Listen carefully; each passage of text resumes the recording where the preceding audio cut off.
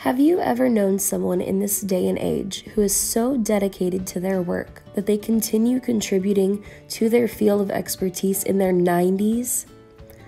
I haven't either, and that's what makes Dr. Jane Roland Martin so special. She not only has contributed so much to the American educational system already, but she's so passionate about education that she's still teaching, even as she approaches her 91st birthday. I'm Tresslyn Tucker, and today I'm going to talk a lot and teach you a little about Dr. Jane Roland Martin. Jane Roland was born on July 20th, 1929, on the West Side in New York City. Her father, Charles, worked as a newspaperman, and her mother, Sarah, was a home economics teacher at a junior high school in the Bronx. Both of her parents were incredibly passionate about their careers, and she distinctly remembers her father always telling her, You have to do something you love. Heeding her father's advice and following in her mother's footsteps, Roland would grow up to work in both private and public school settings for three years before starting to work toward a master's degree in education at Harvard.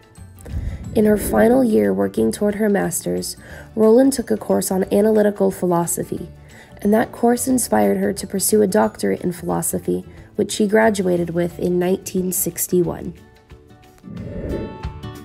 In 1962, Roland married Michael Lou Martin and decided to keep both her surname and use her husband's name, making her Dr. Jane Roland Martin. She and her husband would later have two sons, Timothy and Thomas, before Michael would eventually pass away in 2015. Martin first started teaching philosophy at the University of Massachusetts in the 70s. However, she was really brought to the foreground in the educational arena in the early 80s, when she began incorporating all sorts of hot button issues into her philosophy courses, predominantly in subjects involving modern feminist themes and methods.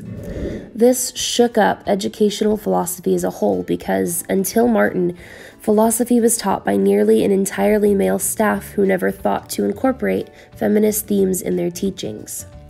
For a long time, many other modern philosophers and philosophy educators disagreed with her teaching.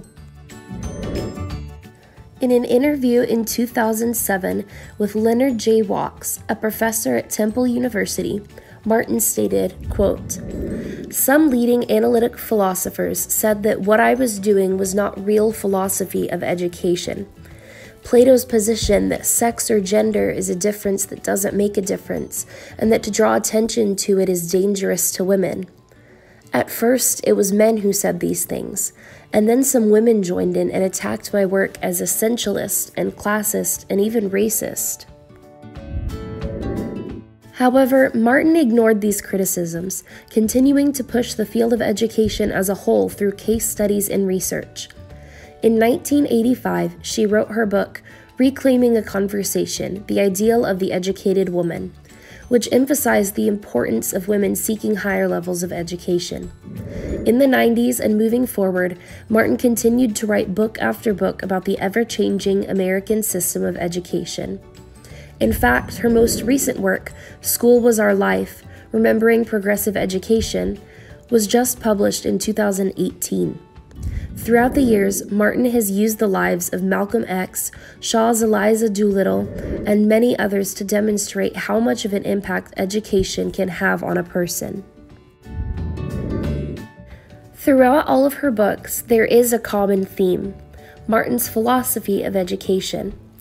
Essentially, Martin's philosophy is that education plays a fundamental part in individual and societal development, and that because education is so fundamental to improving society, it needs to change with society rather than against it. This was very different from the common view during the radical education movement in the 60s and 70s, a movement that failed predominantly due to its lack of understanding the impact of education on society. However, throughout the 90s and moving forward, especially today, many educators have embraced Martin's ideology that education is a fundamental part of developing character Like Martin, this class believes that aside from teaching kids how to read or solve an algebraic equation, education is a tool for raising participatory democratic citizens, developing empathy and respect in students, and teaching students to recognize the power of culture.